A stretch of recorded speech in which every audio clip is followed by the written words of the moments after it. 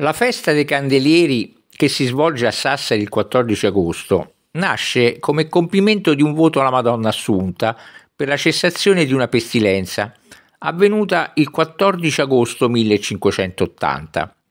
Essa consiste nella sfilata di nove candelieri rappresentanti altrettanti gremi, le antiche corporazioni di mestiere, piccapietre, falegnami, ortolani, calzolai, sarti, muratori, viandanti, contadini e massai.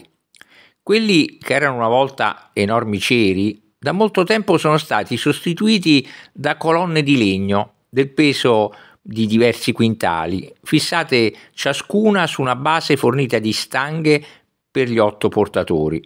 Ogni candeliere reca un'immagine del santo protettore della relativa corporazione ed è fastosamente decorato con una profusione di fiori e scialli colorati. Al capitello sono fissati dei nastri multicolori che vengono tenuti tesi da alcuni ragazzini. La discesa dei candelieri parte da Piazza Castello, raggiunge il municipio e si conclude del, nella chiesa di Santa Maria di Betlem. I portatori dei candelieri camminano a un passo ritmato da un piffero e da un tamburo e a intervalli fanno ondeggiare il loro carico in una sorta di danza.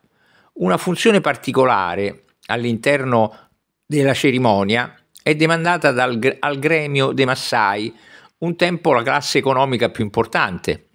Si incontrano con il sindaco, il quale consegna loro la bandiera della corporazione fino a quel momento esposta nel municipio, insieme a quella della città, ed entrano per primi nella chiesa di Santa Maria per l'offerta alla Madonna.